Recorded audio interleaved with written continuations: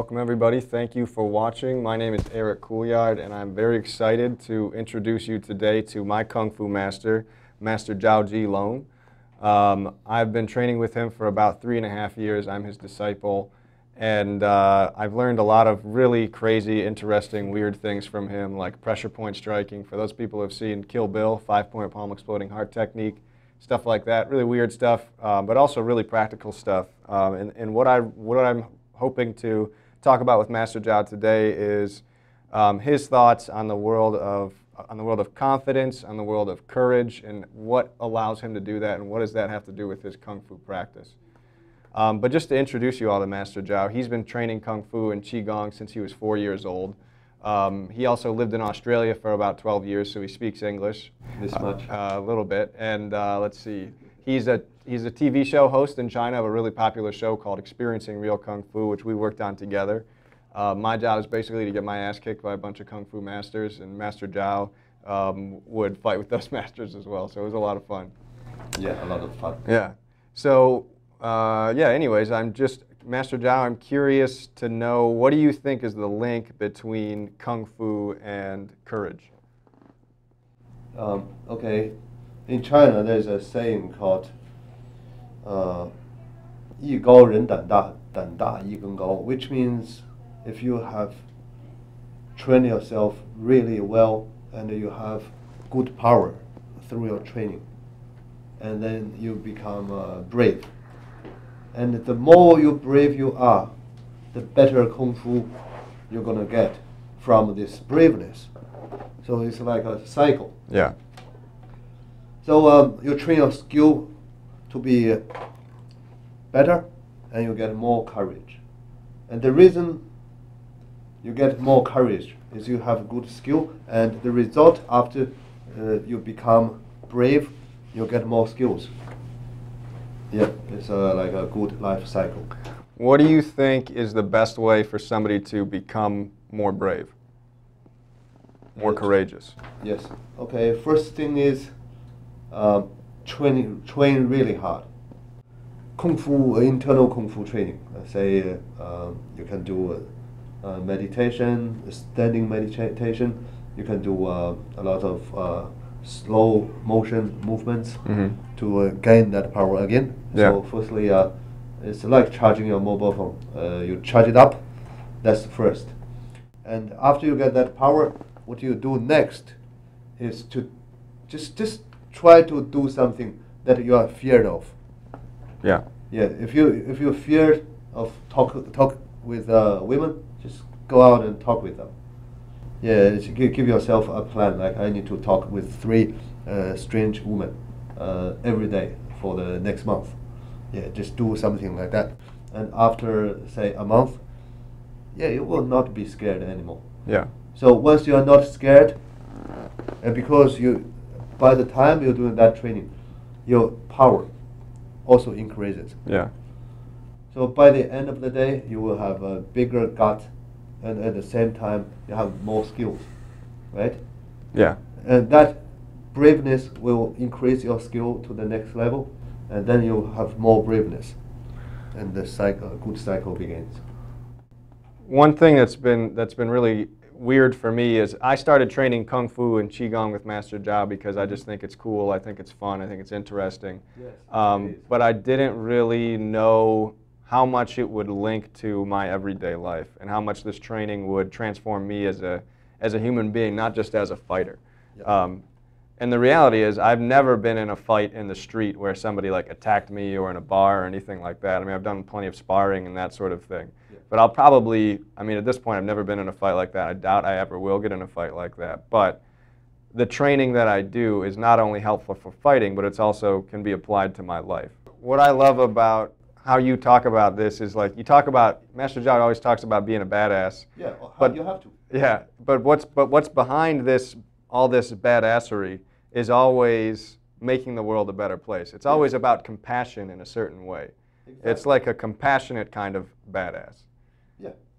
Uh, It's not just about being an asshole. It's about making the world better by using our strength, using our power, and not letting people walk all over us. But what I'm curious to hear from you is what do you? How do you recommend somebody goes from being a nice guy to being a badass, a compassionate badass? Um, the first thing uh, you need to do is to tell them that a lot of great things in the Mhm. world are done by badasses. hmm There are lots and lots of emperors Yeah. in China. Can you give who's who's your favorite badass in all of history? Oh, I got a few. I, I got, I got a few in my mind. Actually. That was uh, uh, the gr- greatest thing. Uh, uh, uh, sorry, that was the greatest emperor in the entire Chinese history. His name is Li Shimin. Okay. You know him? No, I don't know. Him. You should know him. He's my, uh, I'm his follower. Okay. Yeah, he's the second emperor of the Tang Dynasty. Okay. Okay, so what he did, he killed his. He has he has two brothers, Mhm. right? He killed them by hands, Whoa. right? And to be in that position, uh, to be uh, to be the next emperor of, Mhm. uh, of after his father. Mhm. Okay, Mhm. and he killed his two brothers uh, by hands and very bad in a very bad uh, emotion. I don't know. It's disgusting. But then after this guy became uh,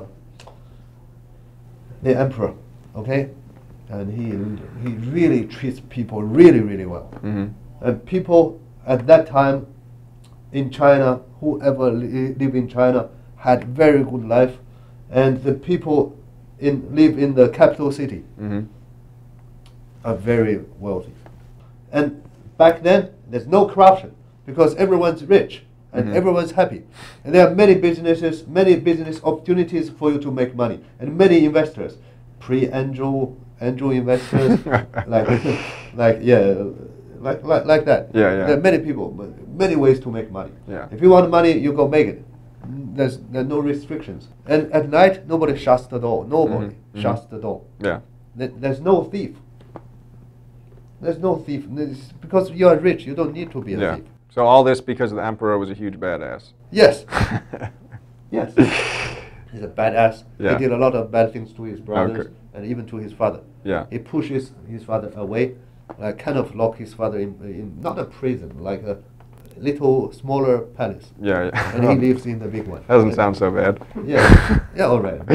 He did a lot of bad things to Yeah, his brothers. and, yeah. uh, but he did a lot of good things Yeah. to people, and people love him. I love Okay. him. So step one from from going to a nice guy to being a badass is to educate yourself and realize that badasses have done a lot of tight shit historically.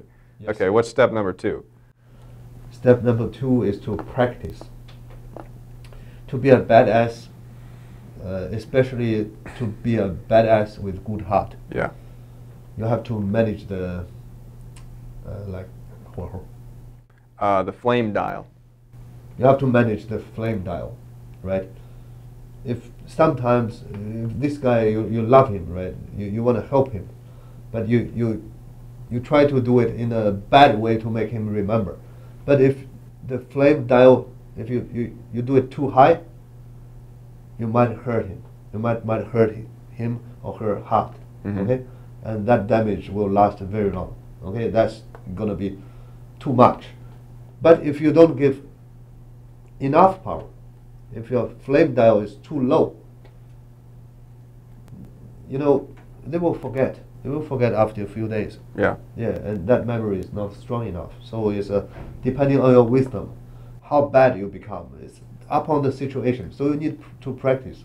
You need to practice with some friends who is already a good-hearted badass. So you, you, you, you go muck around with them, and uh, yeah, whenever you want to play badass, and ask this friend to to uh, be with you, and you perform like a badass, and let this guy to check if you are bad enough or you you um, like overt Yeah. yeah, too much. hmm Yeah, let him to help you to adjust. And one day after practice, you're gonna find the feeling, and you just use that feeling. Yeah. Yeah, yeah, just use use that feeling. You know. So, so what are some ways that people can practice? You talked about earlier, like just finding things that scare you and doing that. What else? Or is that the, is that the main way? Yeah, just just use your imagination. Just be bad, you know, Yeah. but with good heart. The reason you be bad is you want to make good things happen. Once you have, as long as you have that kind of heart and that kind of aim, Yeah. anything you do won't be too bad and will be helpful. And your friend might be angry, but eventually, when he understands, he loves you. Yeah. So, so Master Zhao is here visiting the University of Michigan for a, a residency and teaching a bunch of different classes. Yes. And uh, one of the classes we were teaching today, you were talking about, um, you were talking about like a personal consciousness versus a greater consciousness, and how, uh, like working towards the personal consciousness, we have a tendency to um, succumb to the pressures of society to, you know, get, go to a good school and get good grades and get a good job Yeah. and be good boys and girls. Um, and then you were talking about that versus the bigger consciousness or something like that. But in- could you, could you, could you talk about that again? Okay, sure. So for uh, many people um, who study in great universities, uh, such as uh, the, this University of Michigan, s- such as Peking University in China, Mm. such as uh, Sydney University, and uh, or like UTS, uh, where I was studying. It's called the University of Technology Sydney. Um, big universities like that. Uh, uh, there are many in very smart students. Mm-hmm. They study really hard and they study really well, and they learn, pick up things really quick, have very good logic, yeah, very good heart. And these people, uh, they really want to do something, uh, want to make a difference to their lives, even to the world. But it is very important how you choose your subject. If you choose something which is highly demand uh, to the market, Yeah. say let's say uh, when I was uh, when I was in my high school and many uh, before I went to university in China, my dad was working as a policeman, right? And uh, back then, policemen had had a lot of power, and it was a very good job. And uh, met, uh, there was a shortage of policemen, so many of my classmates went to uh, police college Mm-hmm. they fight uh, to be a policeman because so many of them at, because so many of them in that year went to the college and they wanted to uh, be a policeman after they graduate Mhm. but actually after they graduate there are too many policemen students but there, there were not, not enough jobs so some of them they get a job as a security guard yeah, cannot compare with a policeman. It's Yeah. totally different. Yeah, Some yeah. of them, they even went to be a gangster because they, they learn how to fight. Uh, they learn how to uh, anti uh, police. Yeah. yeah, okay, and they become criminals. Yeah, it's like that. You know, uh, if you work with the market, market changes all the time.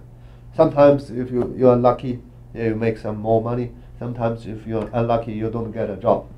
But the thing is, no matter how much money you make, if the job, what you're doing, you don't like it, at night, it's very hard for you to sleep.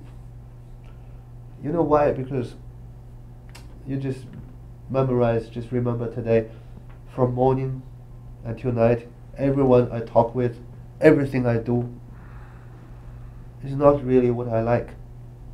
Even I make a lot of money, even people respect respect me, and even people, um, many people underneath of me, and they say, "Hi, boss," whatever the fuck, you know.